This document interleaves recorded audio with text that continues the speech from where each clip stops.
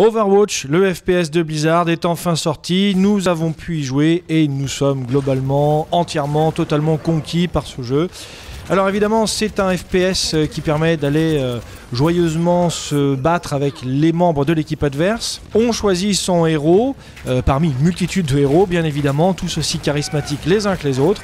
Et chaque héros peut appartenir à l'une des quatre classes suivantes, à savoir la classe attaque, tank, soutien ou défense. Donc pour ceux qui ont l'habitude des FPS, on n'est pas perdu, on est en terrain connu.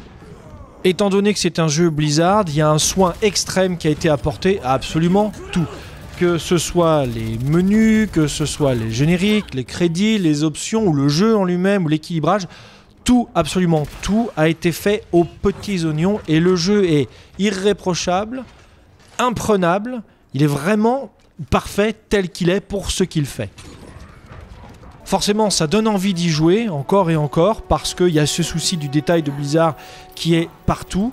On a toujours quelque chose à faire et les parties ne sont ni trop longues ni trop courtes. Donc on a suffisamment le temps de s'amuser avant d'être lassé euh, et de vouloir passer à autre chose. Nous avons des modes de jeu qui sont très classiques tenir, une position, euh, aller s'emparer d'un point, d'un objectif sur la carte, ou bien aller désinguer euh, l'intégralité de l'équipe adverse en face de nous. Ça se joue bien, c'est plaisant, il n'y a pas de prise de tête, c'est facile et rapide à prendre en main, même, pour les joueurs qui sont un peu moins bons au FPS que les autres. Il y a toujours matière à s'amuser dans Overwatch et euh, ça serait dommage de passer à côté.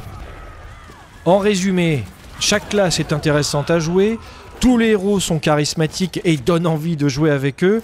Les parties sont plaisantes et très amusantes, rapides et dynamiques. Le jeu est très beau en tout point puisque c'est un jeu Blizzard et Blizzard s'attache à ce que chaque détail soit aussi bon que tout le reste. Donc ça serait vraiment dommage de ne pas se faire plaisir à jouer à Overwatch.